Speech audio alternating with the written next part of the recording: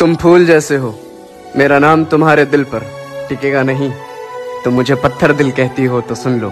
तुमने इस पर अपना नाम लिखा है। ये मिटेगा नहीं। किसी की याद में शामें गुजारने के लिए कलेजा चाहिए